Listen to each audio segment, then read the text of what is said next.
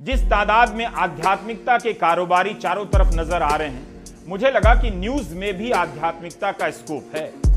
News आध्यात्मिकता, वो आध्यात्मिकता है, जिसके तहत जब तेल महँगा हो तो समाज में किसी वीर पुरुष की चर्चा की जाए।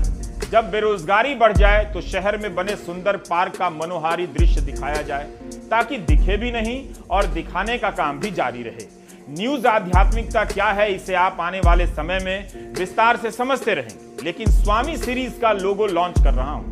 प्राइम टाइम के स्वामी सीरीज़ का लोगो। पहले वो दिखाना चाहता हूँ। मैं एंकर हूँ। अग्नि के हिसाब से भयंकर हूँ। जल के हिसाब से प्रलयंकर हूँ। मेरी वाणी से निकली खबरों की गंगा इंसानों के विवेक जगत में जलजला पैदा कर देती है।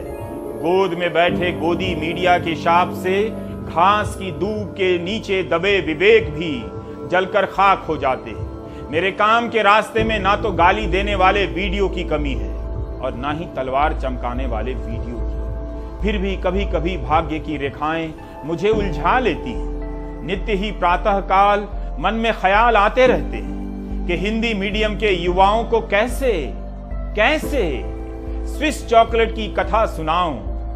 तभी आकाशवाणी होने लगती है। वत्स, तुम प्राइम टाइम में स्वामी सीरीज़ शुरू करो। स्विस चॉकलेट की चिंता छोड़ो। स्वामी बनकर तुम जो भी कहोगे, लोग दास बनकर सब स्वीकार करेंगे। उसे ही स्विस चॉकलेट समझ लेंगे। जगत में झगड़ा केवल हिंदू मुस्लिम का नहीं है, सास बहू का भी है। इस झगड़े के कारण बहुत से मकान भीतर भीतर ढहे जा रहे हैं। किसी को माई का भागना पड़ रहा है, किसी को जमाई का भागना पड़ रहा है। धर्म के नाम पर हिंसा करने वाले युवाओं को तुम रास्ते पर लाने का प्रयास छोड़ दो। उन्हें सूचनाओं की ज़रूरत नहीं है। तुम न्यूज़ आध्यात्मिकता की बातें करो। अपने दर्शकों को पाताल लोक में ले जाओ। वहाँ से एक गुप्त दरवाज़ा खुलेगा। बहुत गर्म हवा का झोंका आएगा। लेकिन घबराना मत, यह वही मार्ग है जिसे गर्त कहते हैं। गर्त की गति पर चलो, सदगति मिलेगी। स्वामी सीरीज़ शुरू करो, नौकरी सीरीज़ बंद करो।